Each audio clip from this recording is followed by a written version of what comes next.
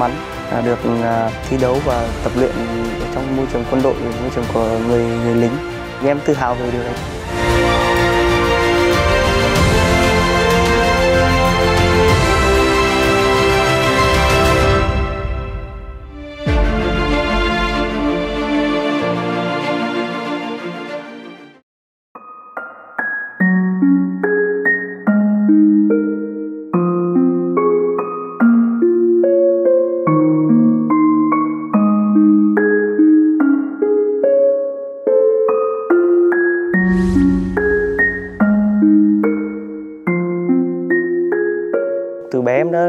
Đam mê bóng đá.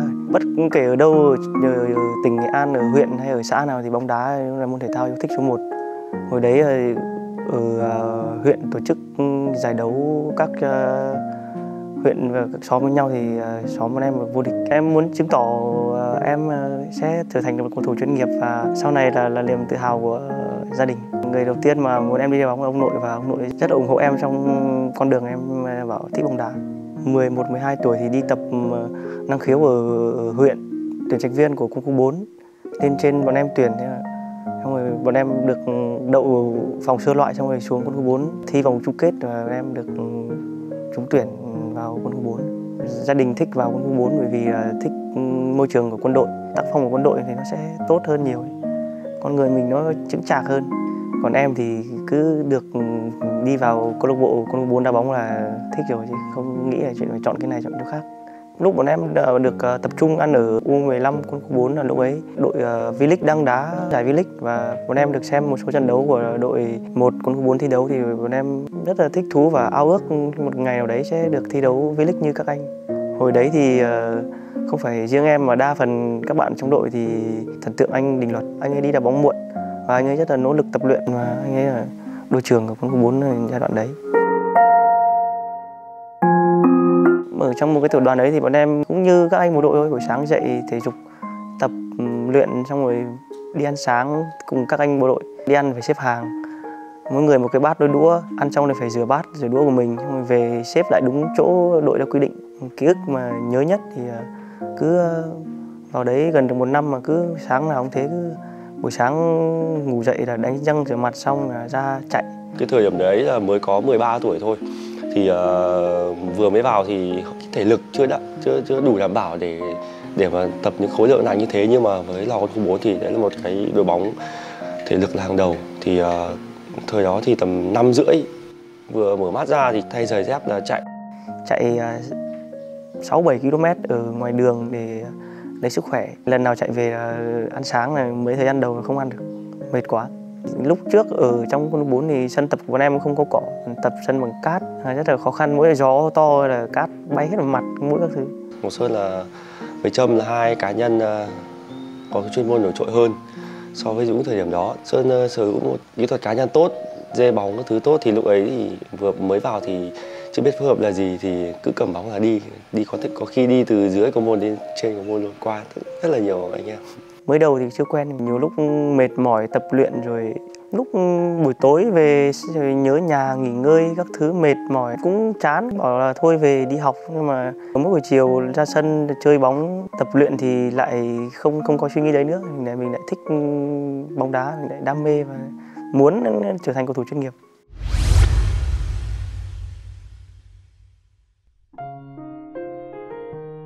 Thời điểm đấy là bọn em rất là hụt hẫng.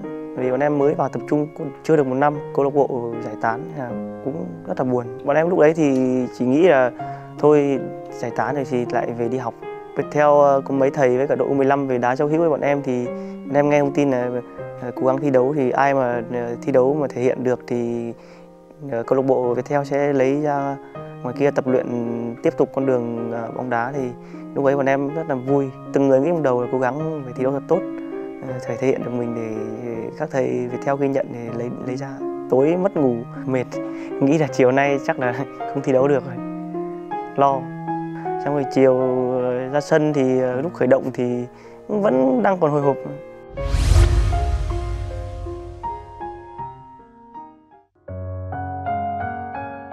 Cảm nhận đầu tiên của em lúc ra câu lạc bộ ờ, Viettel là cái cơ sở vật chất và cái môi trường ở trong, ở ngoài này nó khác xa so với bọn em ở trong kia. Lúc em mới ra Việt theo thì thực sự em thích nghi ở đây thì không không tốt tốt lắm. Cái cơ thể em nó, đợt đấy nó nó bé, sức mạnh không có. Ờ, lúc bọn em mới ra đây thì cái cơ bản bọn em cũng không bằng các bạn ở ngoài này, bọn em phải tập lại cơ bản. Cái sức của em không không như các bạn đã ở đây. Khi tôi lên nắm đội của Sơn thì lúc đấy là U15 thì tất cả những cái dàn cầu thủ đấy thì thực ra phải nói thẳng là ừ, đuối hơn tất cả các em về sau này.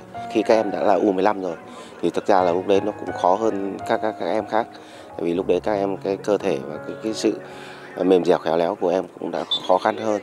Cố gắng nỗ lực ừ, để mỗi ngày một tốt hơn cố gắng để ở lại về Viettel. Sau một thời gian ra tập luyện với cả sinh hoạt thì em cơ thể em cũng nó đỡ hơn và dần dần dần dần thì mình cũng thích nghi được có một cái kỷ niệm là trước được năm bọn em đang ờ, tập huấn ờ, để thi đấu giải U15 chạy ờ, 4 tổ 2000 tổ là 2000 đầu tiên là có bạn đấy, bạn chạy cùng em. Bắt đầu thổi còi là bạn đợi bạn đấy theo em hai vòng đến vòng thứ ba là bạn ấy tự nhiên bạn ấy nằm ngửa ra. Nhiều bạn ấy lịm đi, thế là đội sợ, không biết là bạn sẽ nhận gì. Xong rồi một lúc sau bác sĩ ra, bạn ấy tỉnh lại, bạn bảo là chạy cùng khó thở quá. Lúc bạn ấy cố theo em. Trong cái lứa cầu thủ đấy thì tôi ấn tượng là Sơn và cầu thủ nhỏ mà thực sự là nhanh nhẹn, đặc biệt nhất là trong cái lứa tuổi 15 đấy thì Sơn cái đã chứng tỏ cái cái sức bền của mình rất là tốt.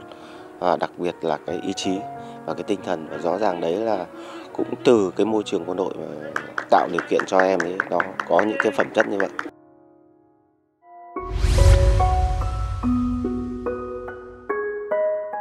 Mới ra Viettel là em đã tìm về trung tâm. Sau này thì lên U17 với 19 là bắt đầu em mới mới ra đá cánh.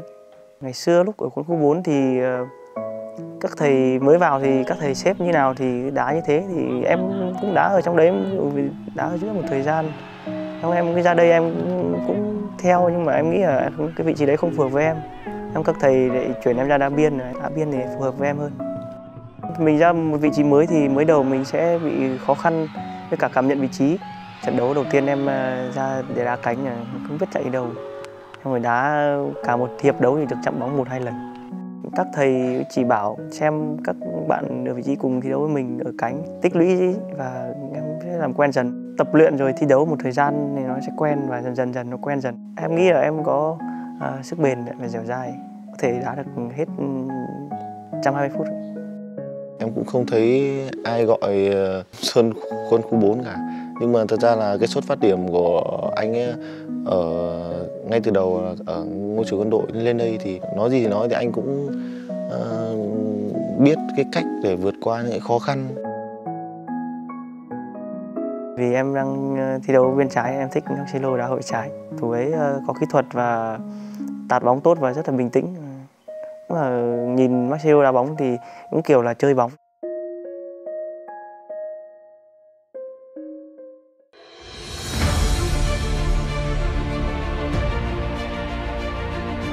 Môn này là thể hiện ở trên sân. Cho nên là em cứ cố gắng mình nghĩ là mình cứ phải tập luyện thật tốt thì vào sân thi đấu nó sẽ tốt thôi. anh rất là máu lửa anh ấy cũng không ngại va chạm. Trước trận đấu mà mình phải nghiên cứu trước cái lối đá của các cầu thủ của đội bạn và mình sẽ cố gắng hạn chế và mắc ít sai lầm nhất có thể. Hàng ngày mình tập luyện mà mình cố gắng mình sửa những cái lỗi mà mình còn thiếu. Còn phải lan tăn duy nhất là mình sẽ cố gắng để được lên đội tuyển thôi kỷ niệm uh, chưa tập lên đội trẻ thì có đợt em uh, thi đấu uh, bóng loại U16 châu Á đá với cả Hàn Quốc ghi bàn uh, gỡ hòa một đều cho Việt Nam trận đấy uh, Việt Nam hòa một đều với Hàn Quốc Trần Ngọc Sơn anh khẳng định dần qua từng giai đoạn rồi.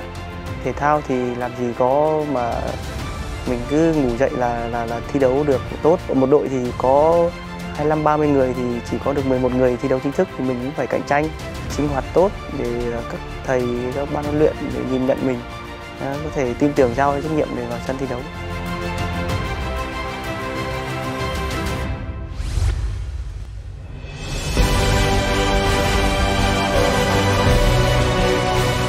Cố gắng thi đấu làm sao để à, cho các bác, các chú huyền thoại và thầy công và những người đi trước à, cảm thấy bọn em xứng đáng với cái màu áo mà bọn em đang khoác lên.